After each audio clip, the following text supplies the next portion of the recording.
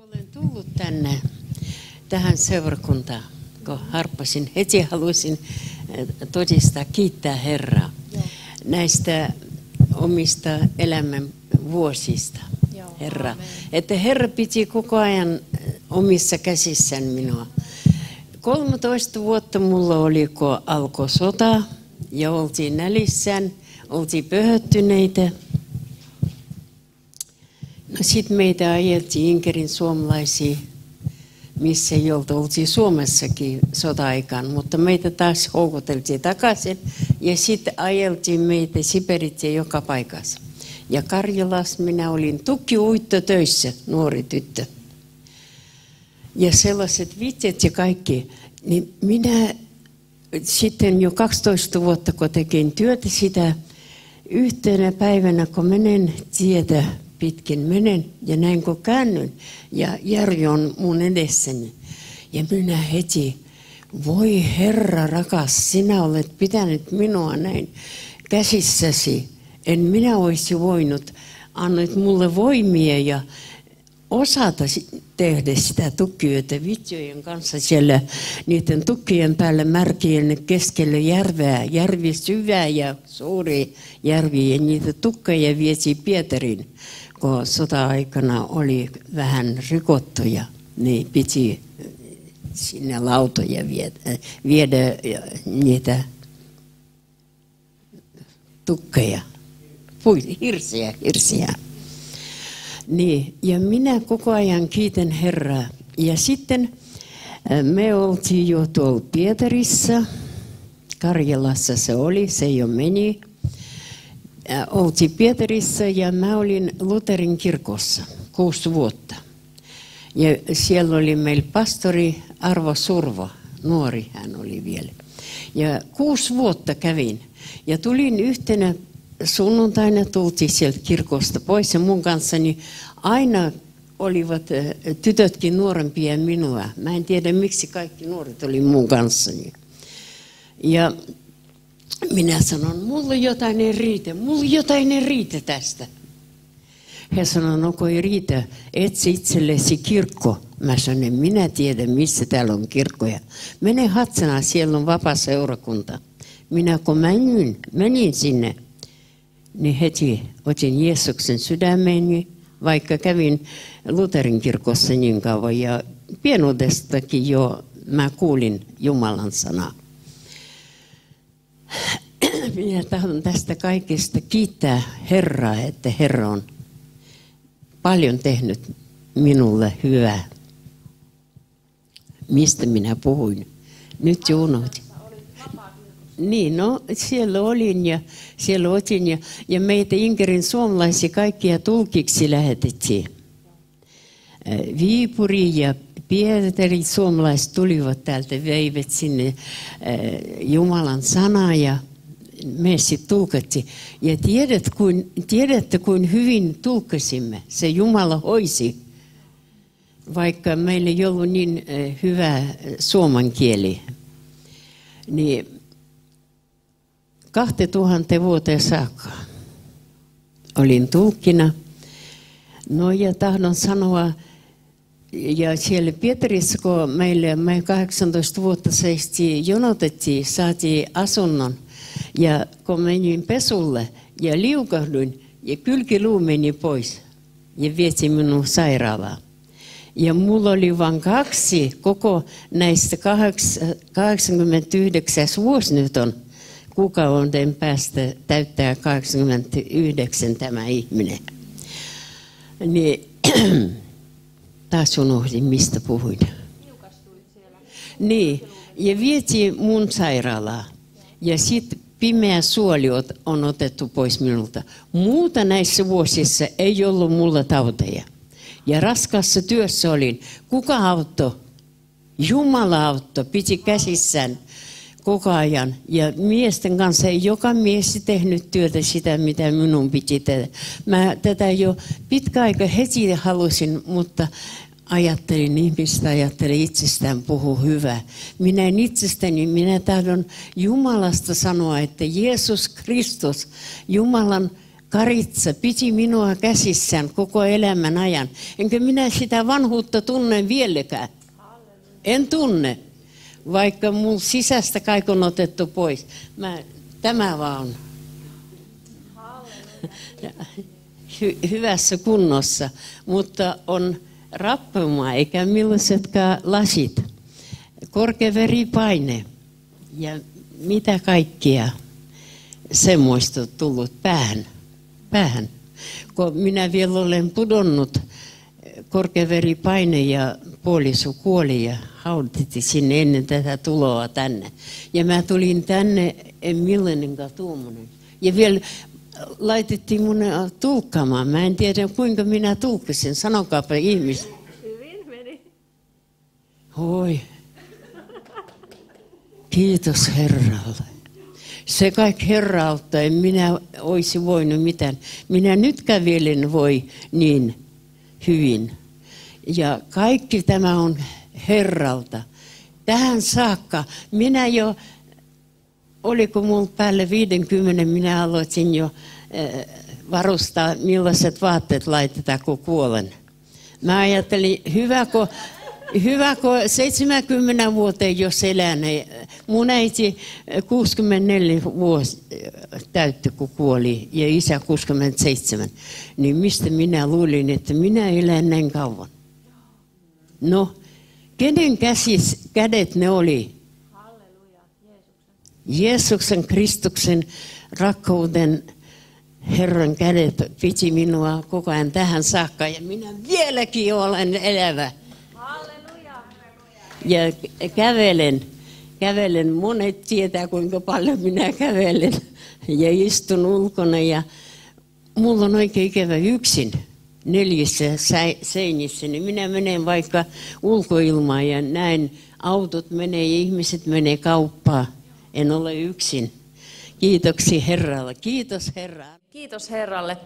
Aivan ihana ja siis tosissaan, mehän asutaan Valentiinan kanssa samassa kerrostalossa ja Valentiina usein siellä kävelee pitkin karhuvuorta ja hän samalla siunaa ja hän rukoilee kuule niiden ihmisten ja alueiden puolesta ja istuu siellä penkillä ja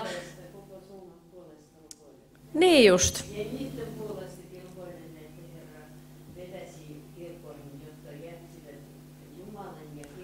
Kyllä.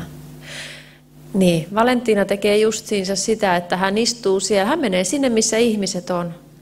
Ja istuu siellä usein siellä penkillä ja siellä istuu, siellä istuu Joo, kesällä istuu siellä, saattoi olla humalaisia, kaikenlaisia ihmisiä, ei kaikki ole humalaisia. Ja sitten mä oon kuullut, miten hän siellä heti kertoo Jeesuksesta ja kysyy, että käytkö kirkossa. Ja siitä se keskustelu alkaa, eli tota, ihan mahtavaa.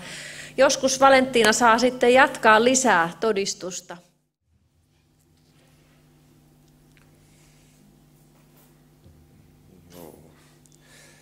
Joo, hyvää iltaa minunkin puolestani. Armon päivää. Kiitos, että olet täällä läsnä Jeesuksen nimessä, veli sisar. Herramme Jeesuksen Kristuksen armo ja Jumalan rakkaus ja pyhän hengen siunaava osallisuus olkoon meidän kanssamme kaikkien kanssa nyt ja aina tästä eteenpäin.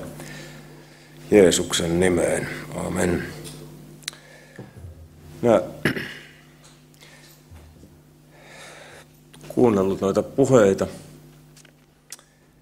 Ei tuohon ole paljon lisäämistä, enkä mä pitkään halua puhua, mutta ajattelin, että hyvin selvää, niin kuin sanotaan, raamatullista evankelista puhetta ja neuvoa minä olen kuullut tänä iltana niin sisaren kuin veljenkin puolesta.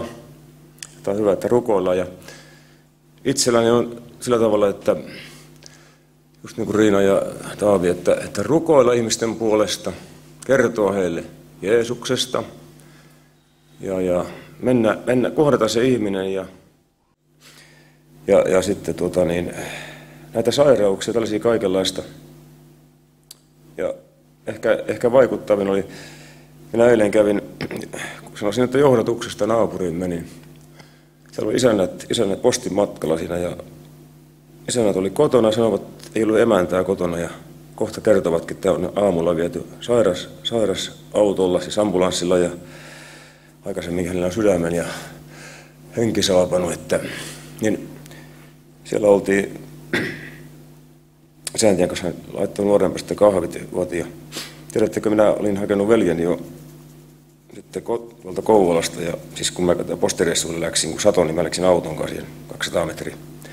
Ja välittömästi minä, minä koin, että kun mä tulen kotiin, niin silloin minä polvistun rukouksen raamattu käteen ja hilkan puolesta, mun kummi vielä. Että, että just sanon tämän takia, että uskon rukous voi paljon kuin se harras. Sitä älkäämme sammuttako. Ja raamatulle rukous. Ja just tämä kohdata ihminen, rukoilla hänen puolestaan, on se sitten ajatuksessa se kohtaama ihminen, tietoisuus siitä, että hän on sairastanut, joutunut sairaalta tai mitä tahansa. Tänään minä sitten menin, eilen, eilen sanoin sinne isänille, että minä tulen, jos Jumala suoni huomenna, teille veljeni kanssa, Antin kanssa kylään. Ja, ja tänään mentiin puolen päivän aikana, niin tuota, minä siinä polvistun ulko siunasin rauhaa toivotin talolle sisälle, niin sitten minä kohta toisen oven jälkeen huomasin siellähän emäntä Hilkka sohvalla. Jumalan kiitos. Ja, ja sitten tuota, siinä oli ilo, ilo minulla oikein syttyi ja, ja tuota, keskusteltiin sitten himpun aikaa ja sanoin evankeliumin raamatun sanaa, että minä olen rukoillut sinun puolestasi edelleenkin ja tuota, se on velvollisuus myöskin. Ja Jumalalle kiitos. Ja, ja sitten äh, isännät tuli siinä kohta myöskin ja saatiin, emäntä kohta rupesi palvelemaan taas meitä ja Jumalan kiitos Jeesus hengen. Halleluja, halleluja, halleluja. Isän ja pojan ja pyhän hengen nimeen voimme sanoa Jeesuksen nimessä. Ah, sielu vallita sua Herran, ja isäs turva rakkaaseen. Hän taivaan armolla sun kerran kruunapi aikani jäiseen. Ken itsens usko Herralle, ei rakenna se.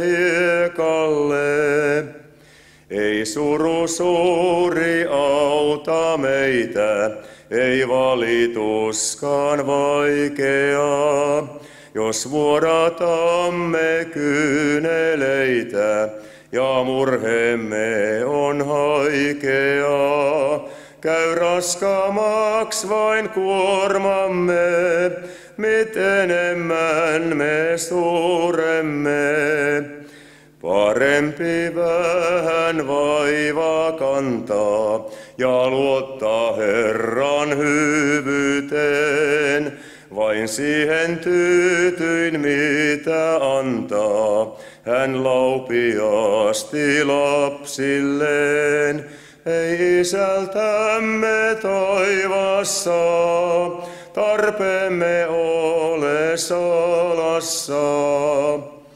Hän tietää avun ajan parhaan ja neuvonsa on viisahin.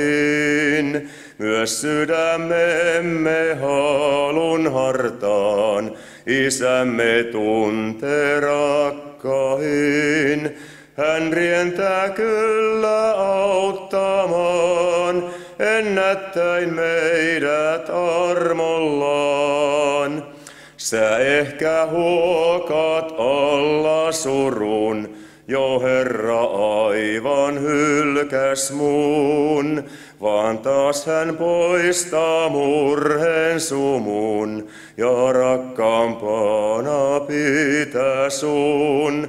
On aika tällä vaihtuvaa, myös murhepäiväs loppuvaa.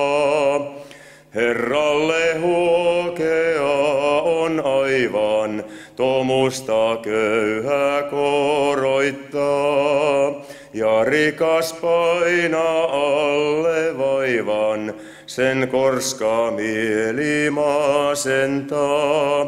Jumala ehve toikansa, hän ylentää ja alentaa.